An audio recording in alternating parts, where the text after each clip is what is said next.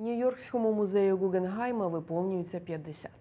Розташований на музейній милі у Нью-Йорку, музей є відомим на весь світ завдяки своєму революційному дизайну, який спроектував американський архітектор Френк Ллойд Райт. Майстер казав, річ, яка не є водночас практичною і гарною, не має користі. Цими днями музей Ґуґенгайма присвятив геніальному будівничому спеціальну виставку Френк Ллойд Райт зсередини назовні. Мирослава Пеца далі. Якби він писав музику, то був би Моцартом. Якби писав картини, то Мікеланджело. Проте Френк Ллойд Райт обрав архітектуру і став одним з найвидатніших митців Америки. Він називав свою архітектуру органічною. Вважали, що він ніколи не пояснював її значення. Та я гадаю, що він це зробив, коли сказав, що будівля буде органічною, якщо вона відповідатиме часу, місцю та людині. Він створив понад тисячу проєктів, які зробили революцію в мистецтві ХХ століття. Він висунув тезу, за якою архітектор повинен творити так само вільно, як і природа. Everything that's ever going to be of use to you Усе, що коли-небудь знадобиться вам в архітектурі, чи у житті, чи у подорожах, чи у роботі, це природа. Геній це людина, чиє око бачить природу. Геній це людина, чиє серце відчуває природу. Геній це людина, що має сміливість наслідувати природу. У 1937 році Френк Ллойд Райт вирішив звести зимовий будинок неподалік міста Скоттсдейл у штаті Аризона, який мав би стати архітектурною школою і лабораторією для нього і його учнів.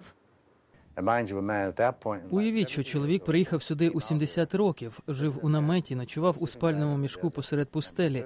А відтак побудував цей комплекс разом з 30 хлопцями і дівчатами. Так починався Тейліз Інвест. У перекладі з валійської рідної мови матері Райта Тейлизин означає блискуча брова чи схил гори. Комплекс досі залишається школою архітектури. У ньому зберігається найповніше зібрання документів і предметів, присвячених одному художнику. Джозеф Рурк був персональним лікарем Франка Ллойда Райта і відвідував регулярні недільні сніданки, за якими той любив спілкуватися зі своїми учнями. Він часто починав зі слів: Ну, хлопці, про що поговоримо сьогодні? На одній з таких зустрічей архітектор поділився з учнями враженнями від поїздок до Японії і їхнього впливу на власну творчість. Я ніколи вам не зізнавався, наскільки мене надихає японська гравюра.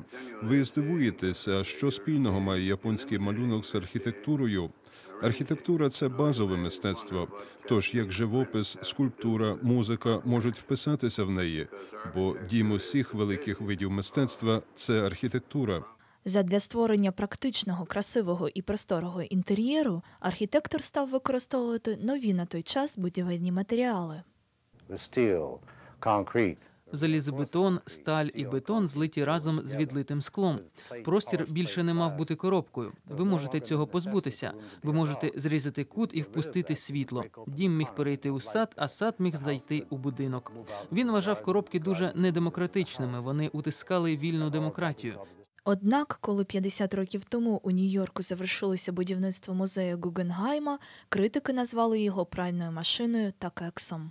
Це єдиний будинок, зведений Френком Ллойдом Райтом у Нью-Йорку, і, мабуть, найвідоміший нині його проект.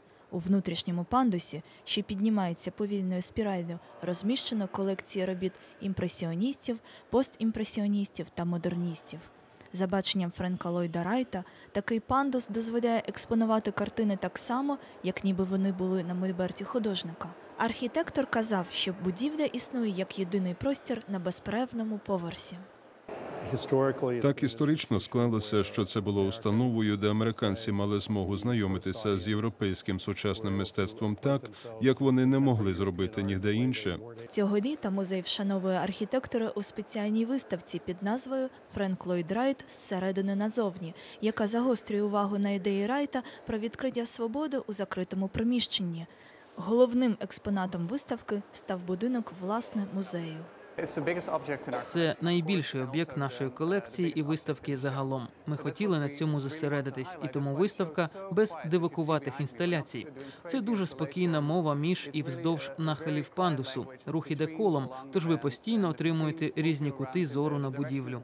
Куратори кажуть, обирати експонати з поміж тисячі проєктів архітектора довелося довго. Як результат, у музеї можна побачити макети більше 60 об'єктів Райта, як збудованих, так і тих, що залишилися жити на папері, а також 200 малюнків майстра. Мирослава Пеца, Голос Америки. У Нью-Йорку виставка Френка Лода Райта працюватиме до кінця серпня, а згодом переїде до музею Гугенгайма в іспанському Більбао.